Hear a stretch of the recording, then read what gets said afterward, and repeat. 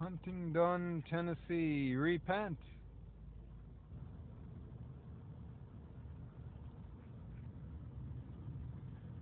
Read more below. In the name of the Father, Son, and Holy Spirit.